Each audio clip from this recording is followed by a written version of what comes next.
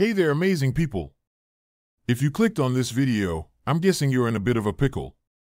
Or rather, a pimple? We've all been there, right? Picture this you have an important event tomorrow, and just like clockwork, a red, angry zit decides to pop up. Right on your face. But hey, don't fret. Today, we're going to tackle the age old question how to get rid of pimples overnight.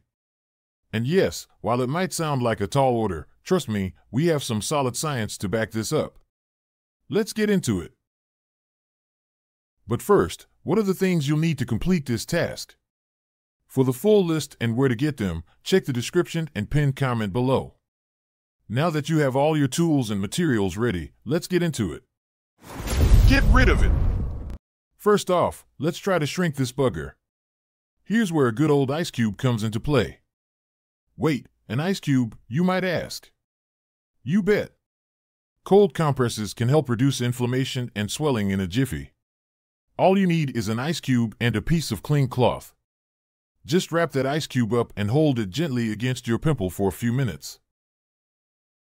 A study from the Journal of Clinical and Aesthetic Dermatology in 2013 revealed this surprising tidbit that ice can help reduce redness and swelling associated with pimples. Who knew something so simple could be so effective, right?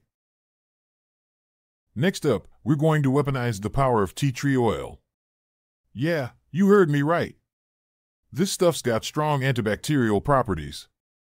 Dilute a bit of tea tree oil with a carrier oil, like jojoba or almond oil, and gently apply to the affected area with a cotton swab.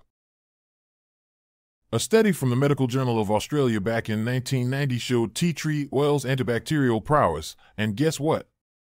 It's been a staple in skincare ever since. Be careful though. This stuff is strong, so make sure to dilute it properly. And for our last line of defense, we're bringing in the big guns, hydrocolloid bandages. These nifty little patches draw out fluid from the pimple, helping it heal faster.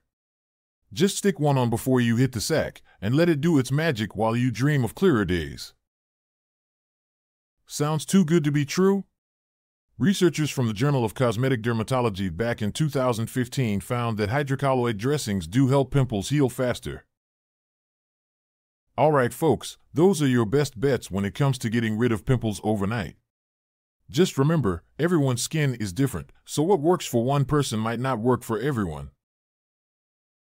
Before we wrap up, don't forget to hit that subscribe button, share this video with your friends, and drop a comment below. We'd love to hear how these tricks worked out for you.